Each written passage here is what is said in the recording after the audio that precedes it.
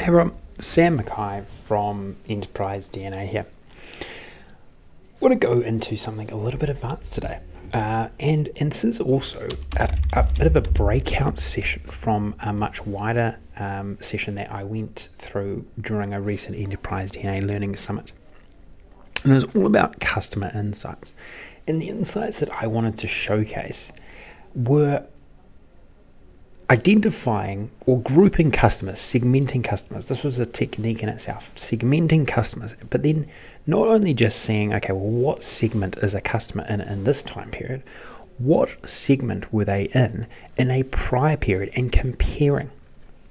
And this is where you can get some real value out of your segmentation um, analysis. I've, I've done a little bit, uh, I've, I've, put a few videos out there around um, group, dynamic grouping and dynamic segmentation, and that was a core part of this particular uh, example as well. The, the session that lasted for about an hour. I think there was almost 250 people live um, to this to that particular session.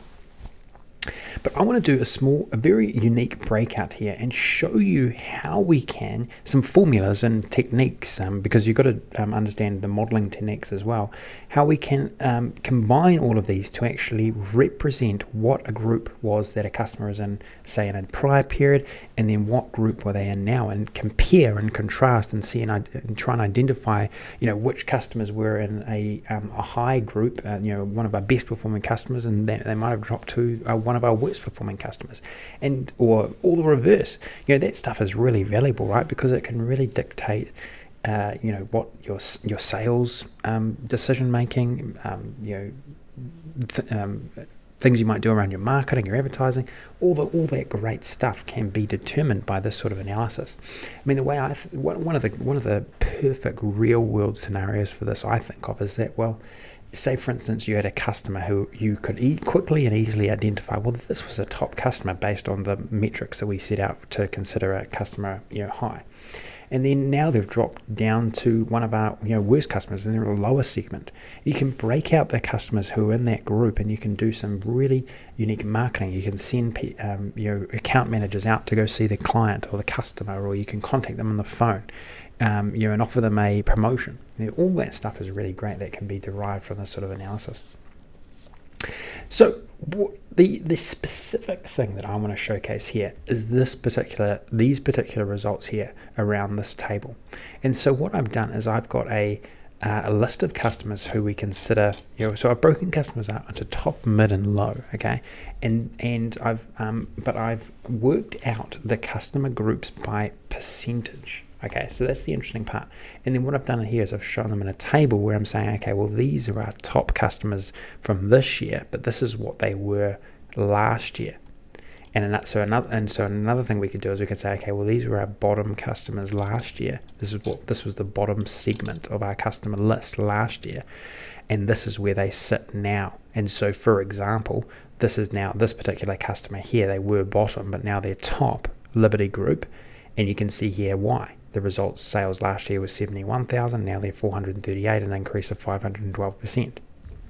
But this this this number in itself does you know it does show some something, but this enables us to create much more additional logic that actually will purely segment customers based on them you know being within a specific group. Okay, now I just want to quickly show you how I actually group these customers because that is quite key. So what I've done is I have created um, my groups based on percentage, where they sat as a uh, from a percentage perspective based on I think sales I used in this example. So if we look at top here, the top group is the top 20% of customers by sales.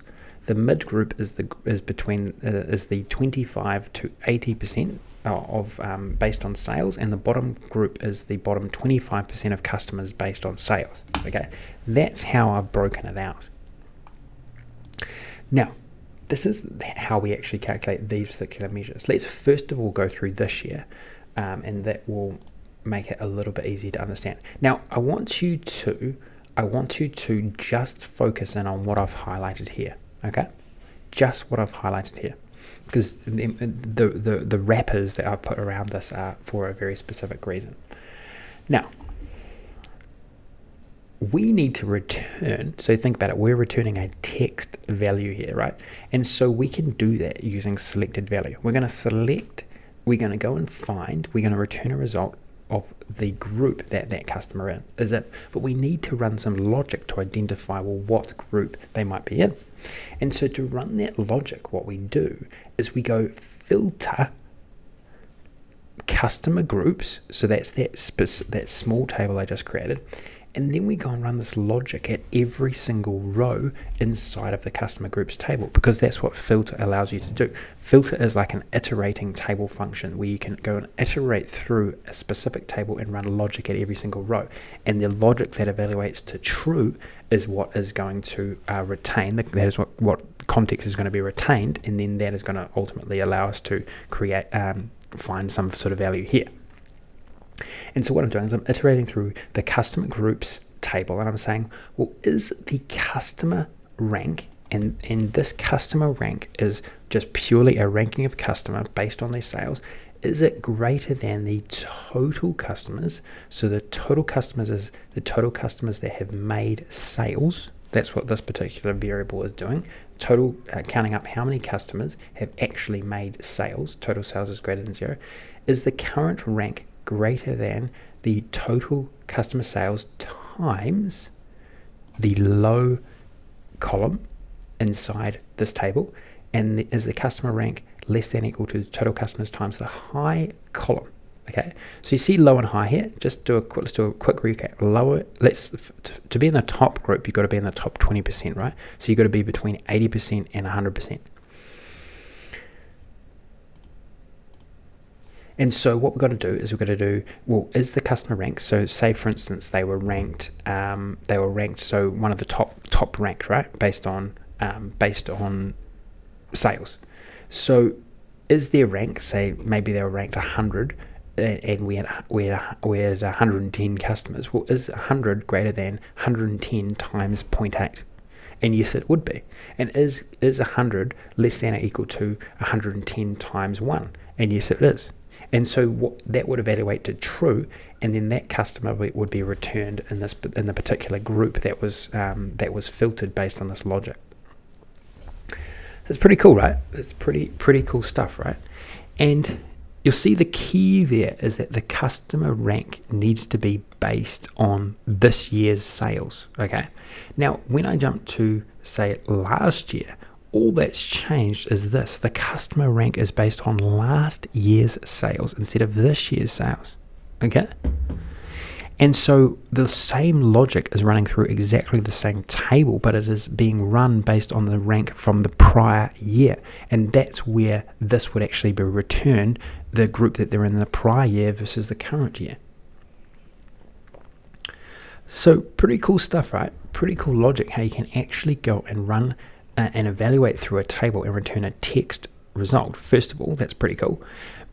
But then it's cool how we can use the same secondary table, sometimes I call them, um, the same secondary table to run logic through, but just adjust a small variable in the logic to then go and make uh, go and retrieve a value from a prior period.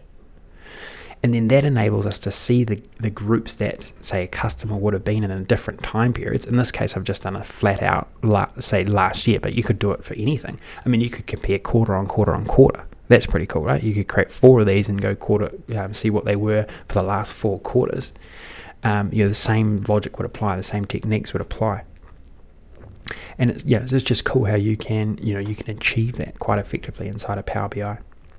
So there was a, there was maybe a little bit that I um, glanced over in, in, in, this, but that's what the Learning Summit was all about. So you know, we had you know, close to 2,000 people come to Learning Summit, and they were able to see the full sessions live. Um, so highly recommend coming to those uh, if you uh, if, if you haven't already uh, or, or, or return if you have, um, because there's a lot to learn during these. And but these little breakout sessions are great too because I, I find that you can um, you, know, you can you can really focus in on a key insight because a lot goes into these models that I develop for the summit. So this is a really key technique, really key uh, key concept that you can start utilizing and implementing. You know, maybe in something that you want to showcase um, in in your own models. This is all about dynamic grouping. So there's lots of different applications for this. Okay, so the other thing, just just to round off, that I found that I find quite interesting is that this is a really key concept that can't be just deciphered by values because uh, look at this particular value here. This actually increased by 18, uh, 1,800% because you see it was a very low base, but still they are not considered a good customer. But you may have thought, okay, well, this customer would be good because they've gone up so much. And that's what this particular logic enables us to do. So it's pretty powerful. Okay, I will round things off. All the best. Um, don't forget to subscribe to Enterprise DNA TV, and if you can, throw the video like because you liked the content. Um, I always appreciate that. Okay, all the best.